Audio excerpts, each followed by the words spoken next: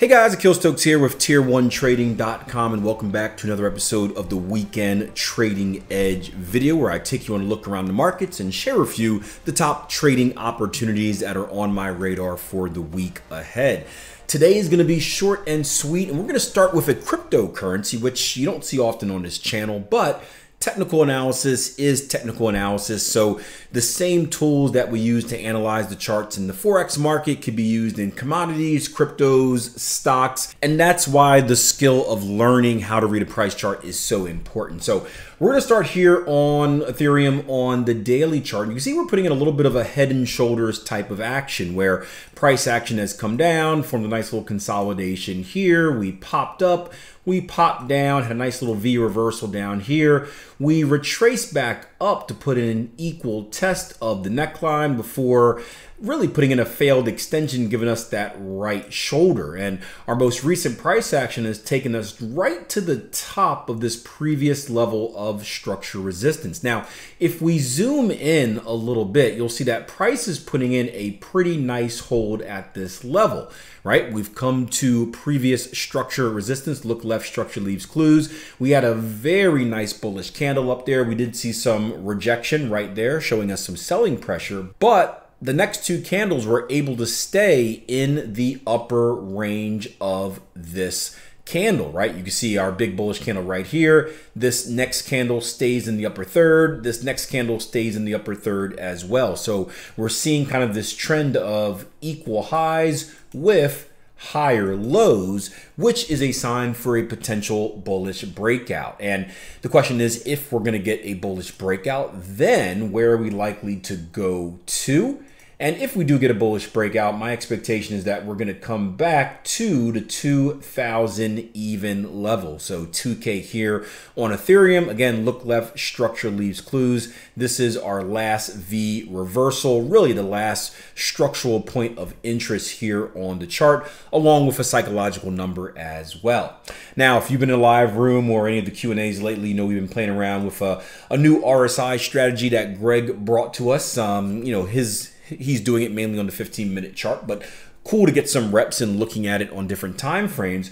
We've got a nice example of that here as well, right? You can see price action has pushed past R60, given us our signal, retraced, and boom, we're above it too. So a nice, uh, we don't have a name for it yet. We've been calling it the RSI Greg, but a nice RSI Greg to go along with that potential bullish breakout opportunity as well. Next, we're heading over to the Nikkei, and as you can see, we are at another previous level of structure resistance, right? If you look directly left, you can see a nice little rejection zone. Let me get my box tool working.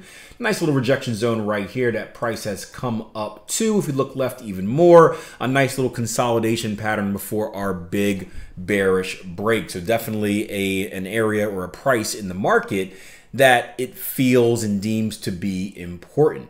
We also have a nice divergence here on our RSI, right? You can see with our initial test, we go overbought right here. We come back up to retest that level. We have a lower close on the RSI, giving us a nice level of divergence here, which is a positive sign for another potential reversal. So looking for a bearish move. If we go down one time frame lower, we actually have something else setting up too, right?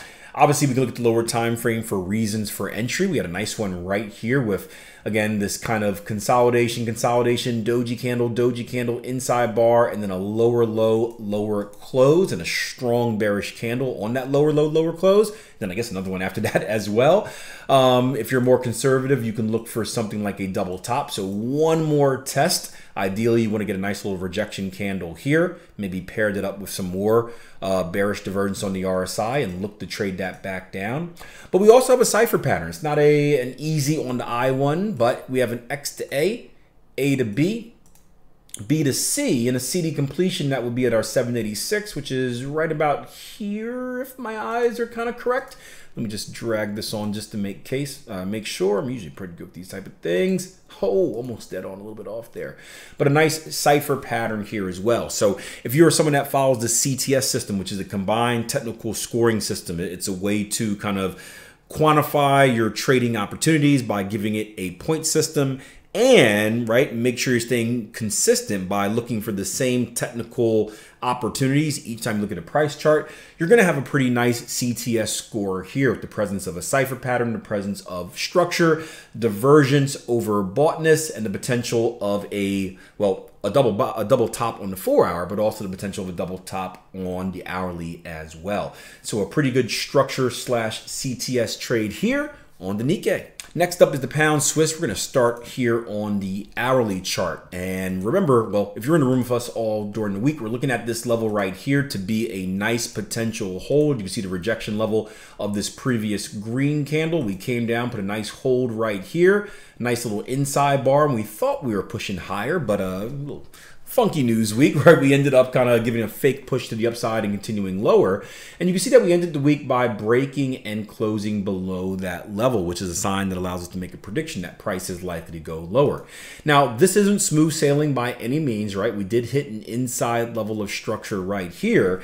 And this is where experience and really the, the art of reading a price chart comes into play because you know, what I notice a lot in working with new traders, whenever we teach them how to read a price chart, the ebbs and flows, the swings, right, the the structure levels, one of the biggest hurdles that they have to overcome is understanding that not all structure is created evenly or created equally. And, and what I find a lot of newer traders doing is you know, either ignoring the wrong bits of structure and paying attention to the wrong bits of structure, or valuing every single little level of structure so much to the point that they can never enter a trade because everything is kind of a a stopping point. It was funny.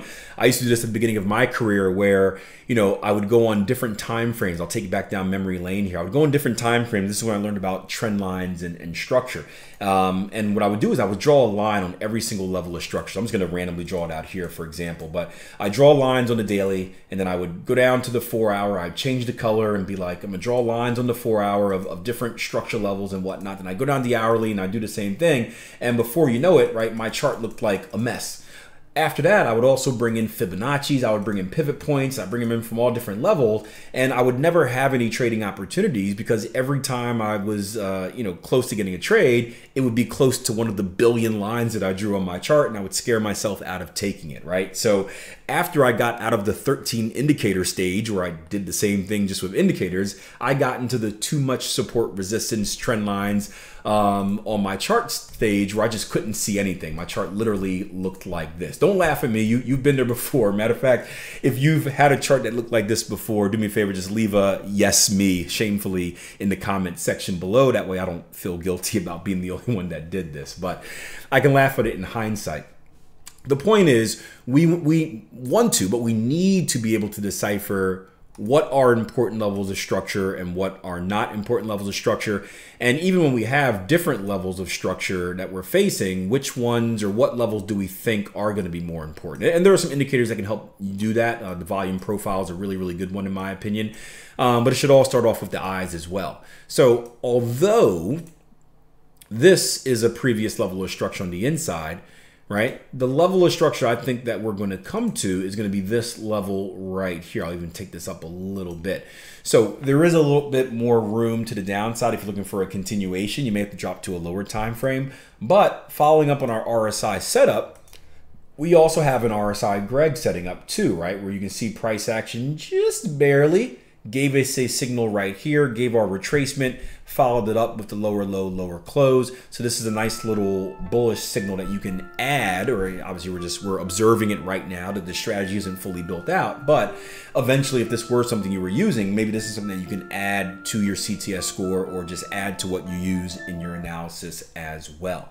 So thank you guys for joining. If you're interested in learning how to trade, two things you can do. One, make sure you check out the Trading Coach podcast. Lots of educational episodes there about pretty much every trading topic you can think of. Just put in Trading Coach podcast and insert what you want to learn about. But also, www.tier1trading.com. We have a great community full of all levels of traders. We have brand stinking new traders. We have experienced traders. We have professional traders. You have coaches like myself and Jason Graystone. If you're serious about learning how to trade and serious about putting yourself in an environment that's going to give you positive peer pressure and motivate you to trade and learn and be your best, there's no better place than www.tier1trading.com. Check out the 14 day trial. That way you can see for yourself if it's the right fit before making any type of commitment. Once again, www.tier1trading.com. Hit that like button, subscribe if you're not subscribed already, and I'll see you guys next time with another episode of, I want to say the Trading Coach Podcast, the Weekend Trading Edge video.